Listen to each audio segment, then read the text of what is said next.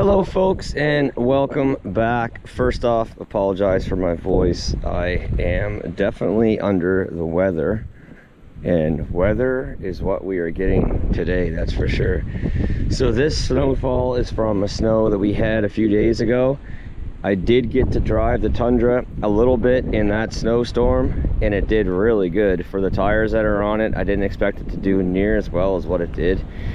Um, I don't know if I'm gonna label this video first time in the snow or not. So if I do, it's actually my second time in the snow. I didn't drive it all that far, but I drove it far enough that it did really well. That snow was really fluffy. This snow is not, and it's turned into slush really quickly. We probably got about an inch, inch and a half of snow, and now it's ice pellets and rain. So that is the worst type of traction you can possibly get. But this thing, I just drove it from the cottage to here and it did really well. I, I like tested it to stop it and see how slippery it was and it just grabbed. So these tires I think might be not too shabby in the snow. I think they're the Michelin X Trail they're called. Uh, yeah, Michelin, Michelin LTX Trail and they're small. They're a 265 70 18 i think it's like a 32 inch tire or something like that maybe 32.5 or something. But here it is a 2024 tundra. No weight in the bed. Those fuel jugs are empty. I am going to fill them up. But no weight in the bed. Everything is completely factory about it six and a half foot box. Trd off-road package. It's got like 3500 kilometers on it already and i absolutely love this thing so far so let's uh let's see how she does. It's gonna keep getting sloppier and sloppier. I'm not going super far just going to get a few things but on the highway a little bit of side road stuff it's uh it's gonna get really crappy really quick. So to get out of the driveway here get onto the one side road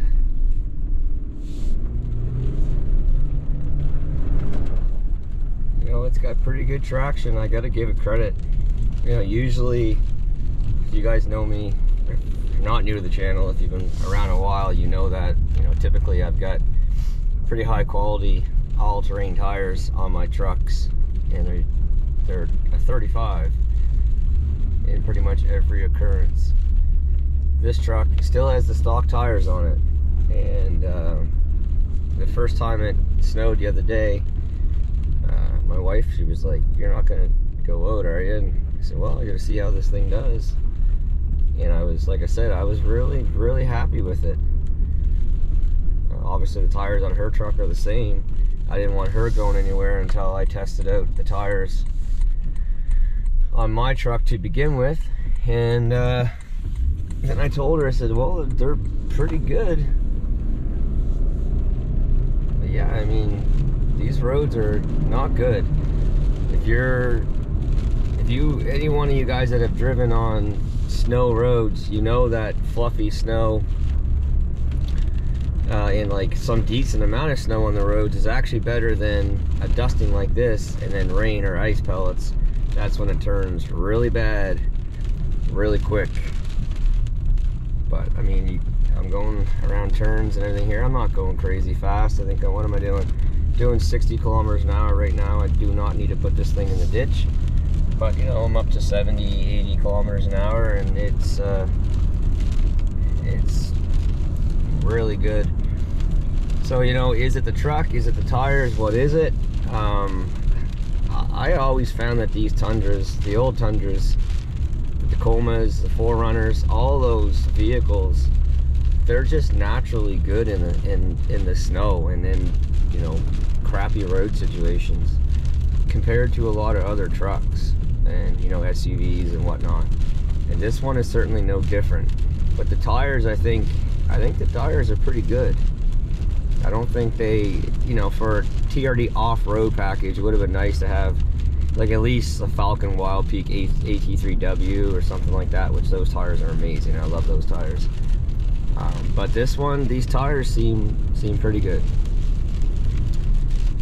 not going to slam the brakes on going around a turn, but when I cut up towards the highway here, I'll I'll put the brakes on pretty good, and you can see, but there's no sliding going on right now at all.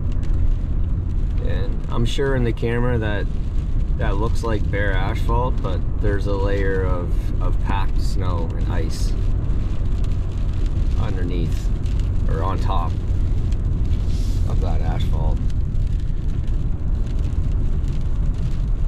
Yeah, I mean, I'd rather drive in eight inches of snow than drive on top of this crap, that's for sure.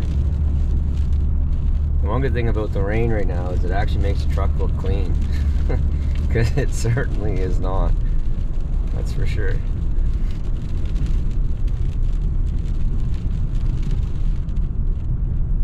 Highways might be bare. So if the highways are bare, I'm not going to bother recording much of that. But a lot of people, you know, they're, okay, brakes hard. That's good not going super fast, but I was still doing like 60 kilometers an hour. And it just came to a stop. Do it again. Yeah, that's good. Yeah, the highways are bare.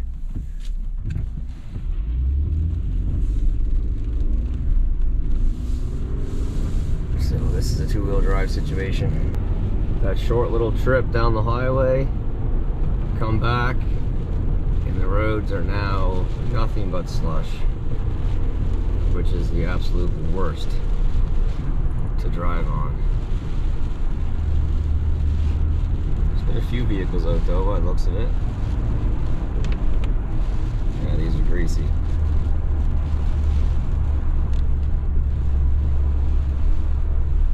unless you grow up on these type of roads I tell you it can get you in a world of hurt pretty quick.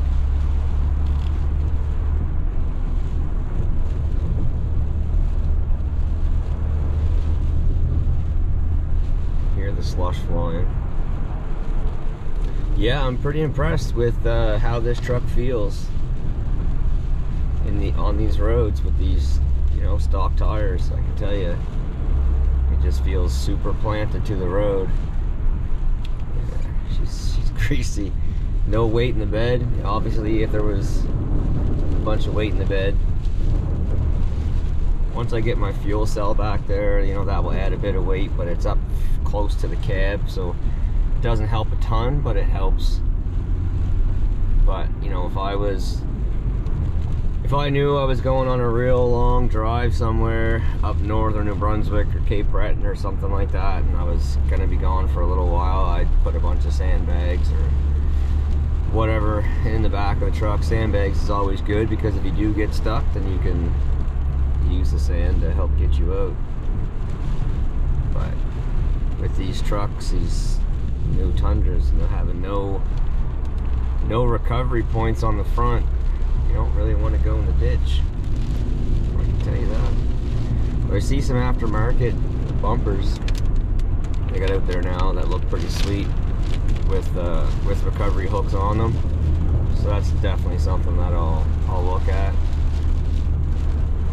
We get into some pretty bad situations sometimes with weather out in these type of events deploying generators and fueling up generators, removing trees out of roads, you know, stuff like that. So when the weather comes, we're usually not the ones sort of hiding inside their homes or, you know, inside their homes nice and warm and cozy. We're out in this stuff pretty much the whole time. But I think honestly in all the years that that I've been out in this stuff, uh, I think I've only had to get yanked out of the ditch once.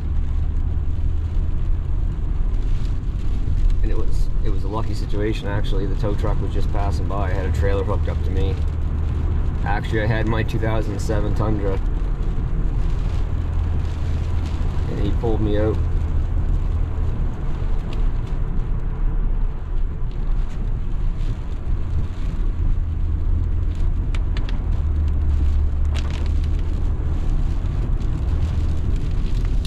the other night when I drove this truck in the snow and then the day after, uh, I was in my buddy's 2023, 2023, yeah, I believe so, GMC Denali with the uh, 1500 GMC Denali Ultimate with the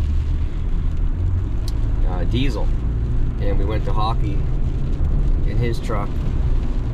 And he had brand new winter tires on his truck like top of the line winter tires and it didn't really seem to do that much better than what this truck was doing with the stock wheels but these roads are bad right now. Really bad.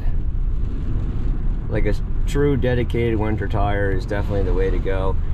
I've always just run um, ATs and my two go-to AT tires are the Falken Wild Peak AT3Ws and the Firestone Destination XTs. Those are my two my two go-to when it comes to winter wintertime driving. The XTs are incredible. They've been on my plow truck now for a couple years. Awesome. I had my I had them on my Chev 2500 gas. They were awesome on that. They get great wear. They're a bit cheaper than the Falkens. Be nice to have some straight roads, wouldn't it?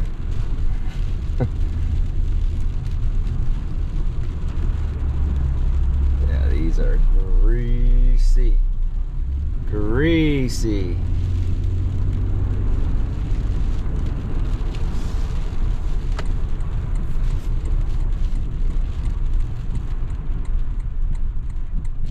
Still a good stopping. Folks, made it back. Uh, definitely some slipping and sliding there a little bit at the end on those roads, but I don't think it really mattered what tire you had on, you'd be slipping some. Obviously, like I said before, a dedicated winter tire is the way to go or a really good all-terrain, but this tire is, uh, it's impressed me so far, that's for sure. Uh, most of the time when you get these tires on trucks that are stock, they ain't much when it comes to snow, but this one, these ones are pretty good. I gotta give them credit. But anyway, just a quick little video, a little update on the truck. Still got the running boards to put on and the hood deflector to put on.